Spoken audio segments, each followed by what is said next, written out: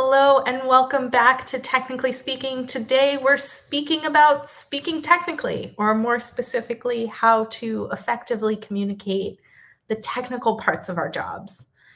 Before we jump into effective technical communication, techniques, trips, tips, and tricks. Wow, that was a tongue twister today. I want to level set by talking about what is effective communication and what makes it effective in general. Effective communication is the process of conveying a message or information in a clear, concise, understandable manner to whoever your intended audience is. It involves successfully transmitting that message from the sender to the receiver, where the receiver understands and interprets the message as intended by the sender. That definition on its own makes it sound like effective communication is placed solely upon the sender or the person who is talking. But effective communication is a two way process where both the sender and receiver participate actively. The sender must be clear and concise in their message, and the receiver must actively listen and respond appropriately. So, now that we know what effective communication is, what's the difference when it comes to technical communication and how to make it effective? While many of the general principles of good communication will apply to your technical communication, there are three reasons that are top of mind for me that make effective technical communication techniques vary. Number one, technical communication is much more specialized. It involves communicating complex technical information, which may require specialized knowledge or expertise. To be effective, the sender and or the receiver need to be able to translate technical jargon and complex concepts into language that can be easily understood by a non-technical audience. In contrast, general communication is more broad and can cover a wide range of topics and may not require that specialized knowledge or vocabulary. Secondly, technical communication may involve more data and visuals or even specific formats when we're thinking about technical communication, I want to think broadly. When I'm solving a technical problem or working on a change, I'm often looking for data to support our actions. Technical communication often involves that data and visuals. That could be charts, graphs, diagrams, and may not be as common when we're having a general conversation. Effective technical communication requires the ability to present data and visuals in a way that's easy to understand and also relevant to the audience, even if they're not used to analyzing or viewing information that way. And lastly, technical communication often requires more precision. It requires precision and accuracy as small errors or misunderstandings can have significant consequences.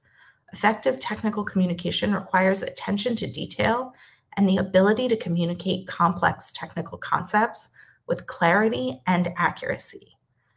So now that we know what makes effective communication and why technical communication is different than general communication, the obvious question that's left for us is how do I communicate technical information effectively? I'm going to go with five things I've learned that have helped me communicate the most important information and do so as clearly as I can. Firstly, Gauge your audience and adjust appropriately.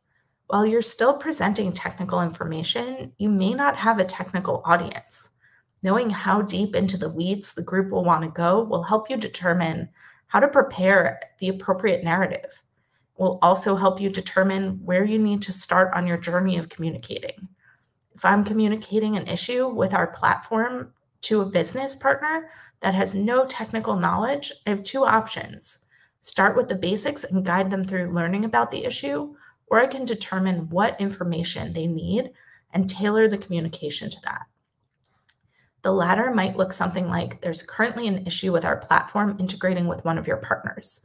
What that means is you can log into the platform and complete the intake forms, but you cannot generate a quote. This allows the business partner to understand the implications of the issue without having me explain that the way the partner consumes data has changed or going through these changes line by line. Secondly, use the appropriate terminology. Technical communication often requires the use of specialized terminology that's specific to our field. Most importantly, make sure you understand the terminology and are using it appropriately. I have had many miscommunications because people use terminology they may have picked up from another developer or client, but is not being used appropriately or in a way that the new audience understands. Be mindful of your audience and use language that's appropriate for their level of technical knowledge. Next, provide context. When using technical terminology, provide context to help your audience understand what you're talking about. This can include spending time defining terms, explaining concepts, or providing examples. This one is similar to our first point around gauging your audience, but with a little twist. This principle makes sure that everyone is starting with the same baseline so the new information is understood by all. Number four, organize your information and make sure it's concise. Technical information can be complex, so it's important to organize it in a way that makes sense. Use headings and subheadings to break up information into smaller, more manageable sections and tell a story. Technical information can also be very dense, so it's important to be concise and to the point. Avoid using unnecessary words or phrases and get straight to the meat of the issue. Lastly, tip number five use examples. Examples can help illustrate technical concepts and make them more tangible. Use real life examples that your audience can relate to and that help to explain the technical information you're presenting to them. And maybe one more bonus tip be an active listener. While you may enter a discussion or a presentation with a game plan based on the above principles, make sure you're listening actively to the folks you're communicating with. You may have to readjust in order to get your points across, depending on what has been understood and what still needs to be clarified. I hope those tips help. And until next week, thanks for joining us on Technically Speaking. And hopefully, these will help you speak technically this week.